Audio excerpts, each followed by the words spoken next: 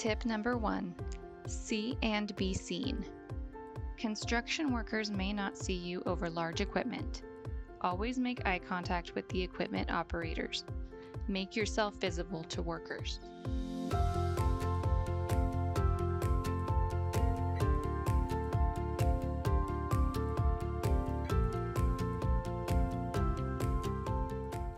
Tip number two don't play in construction zones.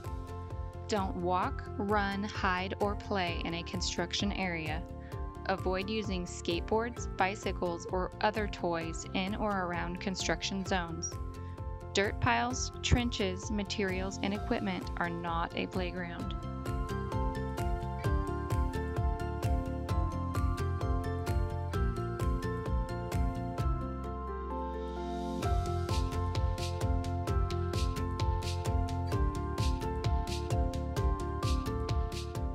Tip number three avoid distractions.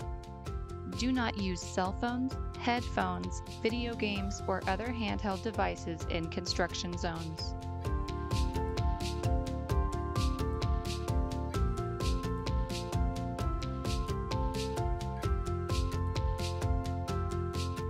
Tip number four read signs and obey rules. Slow down and follow signs. Always listen to any instructions given to you by construction workers.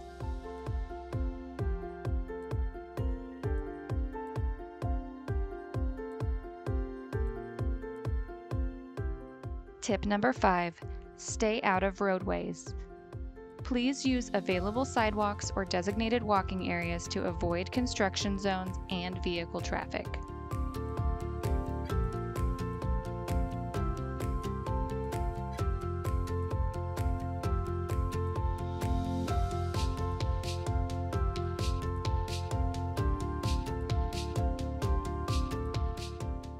Additional safety tips.